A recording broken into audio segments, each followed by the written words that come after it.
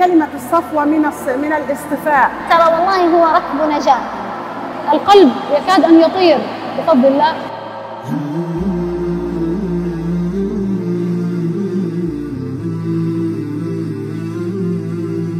أنا الطالبة براءة زهير أبو العمرين المشاركة في صفوة الحفاظ اثنان. مشروع صفوة الحفاظ بمثابة الحياة لنا. فنحن نترقبه من السنة إلى السنة فالقرآن هو الروح للجسد. القرآن هو حياة القلب.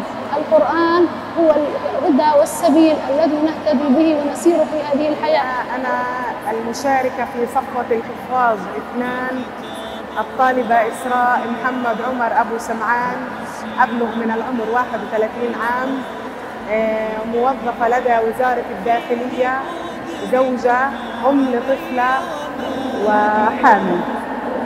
وأيضا محفظة لدى دائرة القرآن الكريم والسنة. آه، سبحان الله كلمة الصفوة من من الاصطفاء أي الانتقاء ليس أي أحد يشارك في هذه اللحظات إنما هي اصطفاء فالله قال ثم أورثنا الكتاب الذين اصطفينا من عبادنا. أم الحافظة لكتاب الله بفضله ومنه أنوار فؤاد الجمال. إذا ما أردت أن تحدث وتعطي عنوانا للصفوة يكفيك أن تقول ترى والله هو ركب نجاة. هذا لربما على نحو الخاص. أعتبره سر أنوار وسر حياتها.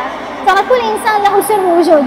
أما سري ووجودي حتى أنني والله لست شيئا إذا ما كنت بدون القرآن. رحلة في كل آية خطها هزت كياني يعني أنا كشخصيا شعوري بصفوة اثنين مغاير جدا لشعور صفوة واحد. شعور صفوة واحد كنت أشعر بالتكلفة التكلف كنت أشعر بالمشقة أثناء ال أثناء ال ببعض الأحيان أثناء التسميع. لكن شعور شعور صفوة إثنان يعني فرق بفضل الله عز وجل بشكل مغاير وبشكل يعني نوعي. أكرر تثبيت القرآن مرة ثم مرة ثم مرة آه، قول الله عز وجل كذلك لنثبت به فؤادك. فإعادة القرآن مرة تلو المرة يساوي تثبيت القرآن. والله كنت أدرك يقينا بأن ما من شيء أحب إلى الله أكثر من كلامه. فكنت إذا ما أردت شيئا من الله وسألته إياه قلت يا رب كرامة القرآن. وكنت جد أطمع بأن أنال هذه المكرمة. سمت من يتلوك صار يكتسي تاج الوقار الله عز وجل أكرمني بأن تكون هذه السردة الثالثة للقرآن الكريم.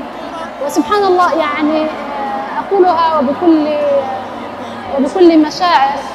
التجهيز في كل مرة المشروع يكون سبحان الله نفس الهيبة لأن هيبة القرآن القرآن في قلب المؤمن لا تزول. سبحان الله. فنكون يعني على ترقب شديد مع أننا مثبتين ومتقنين للقرآن إلا أننا نكون يعني نشعر بهيبة هذا الموقف. ما زاحم القرآن شيئا إلا باركة. بركة القرآن تتنزل فيها الرحمات وتتكاثر فيها الخيرات والبركات. أي إنسان في هذه الحياة يريد أن يبارك الله في جميع أوقاته؟ سأظل أرتحل إلى هذه السويعات.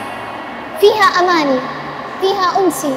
كنت أرتل الآيات حتى أن سمعي وبصري ولساني كله مشغول بما يحبه. لربما في هذا اليوم سيكون سر نجاتي. سأظل أرتحل مع الصفوة محضن المشتاق. وأنقى معين يا كتاب.